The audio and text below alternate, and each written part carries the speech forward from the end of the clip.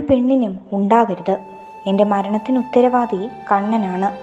ഐശ്വര്യയുടെ diary വായിച്ച പോലീസുകാർ പോലും കരഞ്ഞുപോയി.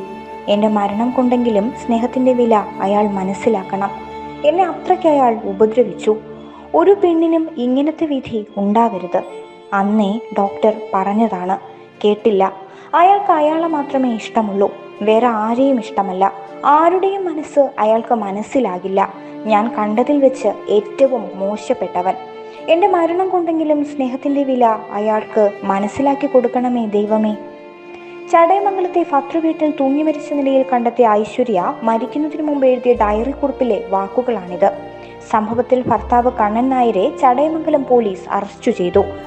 ഐശ്വര്യയുടെ ഡയറി കുറിപ്പും ആത്മഹത്യാക്കുറിപ്പും പരിശോധിച്ച ശേഷമാണ് അറസ്റ്റ്. എൽ എൽ എം കഴിഞ്ഞ് കടക്കൽ കോടതിയിൽ പ്രാക്ടീസ് ചെയ്യുകയായിരുന്ന ഐശ്വര്യയെ കഴിഞ്ഞ പതിനഞ്ചിന് രാവിലെ കിടപ്പുമുറിയിൽ തൂങ്ങി മരിച്ച നിലയിൽ കണ്ടെത്തുകയായിരുന്നു.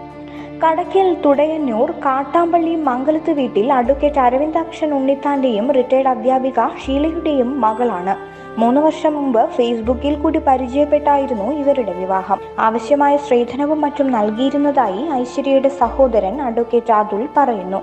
ഒരാഴ്ച മുൻപ് മകൾ ജാനകിയുടെ ഒന്നാം ജന്മദിനം ആഘോഷിച്ച ദിവസം ഐശ്വര്യയുടെ സഹോദരൻ അതുലും ബന്ധുക്കളും കണ്ണൻ നായരുടെ വീട്ടിലെത്തി. കുട്ടിയുടെ ചിത്രമെടുക്കാൻ ശ്രമിക്കവേ കണ്ണൻ നായർ തടഞ്ഞതായും അതുൽ ആരോപിച്ചു.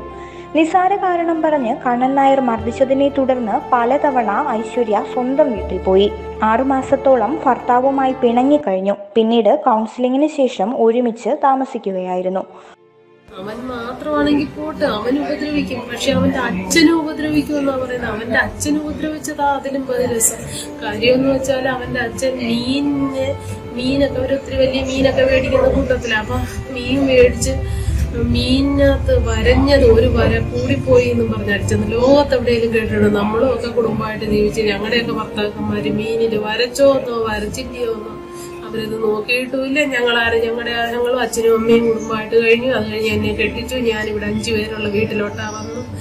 ആദ്യം ഞങ്ങളുടെ കല്യാണം അടക്കം ഞങ്ങൾ ഈ വീട്ടിൽ ഞങ്ങളുടെ നാണങ്ങൾ ഇന്ന് വരെ ഞങ്ങൾ ആരും കേൾക്കാത്തവരെ അതിന് ആ കൊച്ചിനെ ചൂലെടുത്ത് അടിച്ചു.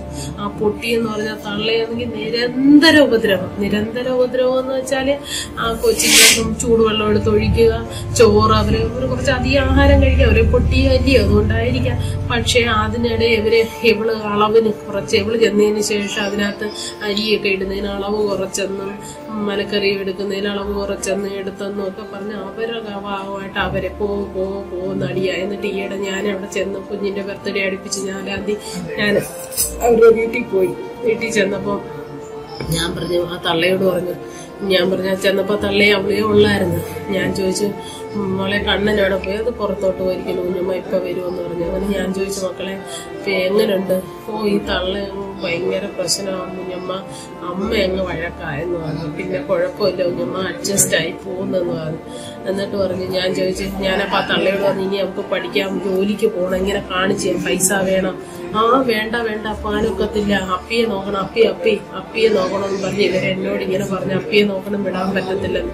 ഇവിടെ ഇരുന്ന് എഴുതിയാൽ മതി പോണ്ട എന്ന് പറഞ്ഞ് കൈയാറ്റും കാലാറ്റും ഒക്കെ കാണിക്കുന്നത് അത് കഴിഞ്ഞ് ഞങ്ങൾ കൊച്ചിനൊരു പിന്നെ ഓണക്കോടിയും കുഞ്ഞിന്റെ ബർത്ത്ഡേ ഒരു ഒരു ജോഡി ഡ്രസ്സും ഒരു കളിക്കാൻ ഒരു കുതിരയൊക്കെ മേടിച്ചോണ്ടാണ് ഞങ്ങൾ അവിടെ പോകുന്നത് ഞങ്ങളുടെ കുഞ്ഞിന്റെ അതല്ലേ അവിടെ കൊണ്ടുവന്ന് കൊടുത്ത് എന്റെ കൊച്ചു മോന്റെ ഇളയ മോന്റെ ഫോട്ടോ എടുത്ത് ഈ ഇട്ട് ഒരു ഫോട്ടോ എടുത്തത് ഇവൻ ചാടി ഇങ്ങനെ കയ്യും കൊണ്ടിങ്ങി വന്നോണ്ട് എന്റെ മോച്ചിന്റെ ഫോട്ടോ എടുത്ത് ഇൻസ്റ്റാഗ്രാമിലോ ഈ ഇതിനകത്തെങ്ങാനും എന്തോ സ്റ്റാറ്റസ് അതിനകത്തെങ്ങാനും ഇട്ടതായിട്ട് ഞാൻ അറിയാമെങ്കിൽ എന്റെ സ്വഭാവം മാറുമെന്ന് പറഞ്ഞ് എന്റെ മോനെ അടിക്കത്തോ ഉണ്ടെങ്കിൽ വന്ന് ഞാൻ എന്റെ മോൻ എന്തെങ്കിലും ചെയ്യുമെന്ന് എന്റെ കുഞ്ഞിന്റെ കാലിൽ ഇങ്ങനെ ചുരണ്ടി ഞാൻ അടുത്തിരുന്നോണ്ട് ഇങ്ങനെ കാലേ ചുരണ്ടി അപ്പോഴാ അപ്പൊ ഞാൻ പറഞ്ഞു എന്തേലും ചെയ്താ നമ്മുടെ കുഞ്ഞിനെ നമ്മളിങ്ങി വരും. അതും കഴിഞ്ഞ് അവൻ എന്തേലും അവൻ എന്തേലും നമ്മുടെ കുഞ്ഞിനെ ചെയ്യുമെന്നുള്ള പേടി കൊണ്ട് ഞങ്ങളിങ്ങി വന്നു.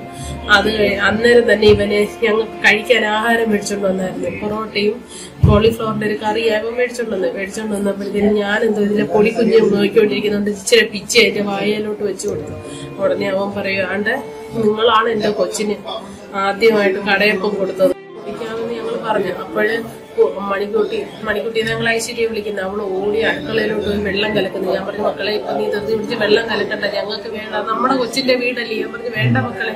എന്ന് പറഞ്ഞിട്ട് ഇത് ഓടിപ്പോയി പഞ്ചസാര എടുത്ത് തട്ടുന്നു ടാങ്ക് എടുത്ത് തട്ടുന്നു. പടപടോ ഇല്ല പിടിച്ച് ആരാണ്ട് കൊല്ലാൻ വരുന്നോണ്ട് ഇത് കലക്കുന്നു പറഞ്ഞു മക്കൾ എന്തിനാ ഇത്ര പാടുകൊണ്ട് കലക്കുന്നത്? വേണ്ട മക്കളെ ഇല്ല കുഞ്ഞമ്മ ഇന്നത്തെ വഴക്കിന് ഇത് മതി. കുഞ്ഞമ്മ വായിലോട്ടെങ്കിലും വച്ച് കാണിക്കണം എന്നിട്ട് അങ്ങ് കളഞ്ഞാലും വേണ്ടില്ല കുടിക്കുന്നതായിട്ട് കാണിക്കണം. കുഞ്ഞങ്ങ് ഭയക്കുവാ അന്നേരം.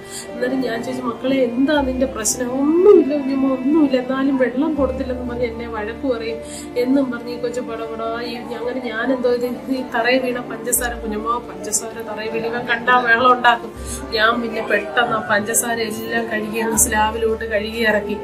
അപ്പം പിള്ളേരൊക്കെ പറഞ്ഞു എടി മണിക്കുട്ടി വെള്ളം വേണ്ടടി എന്ന് പറഞ്ഞിട്ടും അവർക്കും കുടിക്കുക കേട്ടോ. അപ്പൊ അവൻ പറയുന്ന ആദിത്യ മര്യാദ വന്നാലുടനെ ഒരാൾ വീട്ടിൽ കുട്ടി പിറന്നതിന് ശേഷമെങ്കിലും പ്രശ്നങ്ങൾ തീരുമെന്ന് കരുതിയെങ്കിലും വീണ്ടും നിരന്തരം പീഡനം തുടർന്നതായി ബന്ധുക്കൾ ആരോപിക്കുന്നു.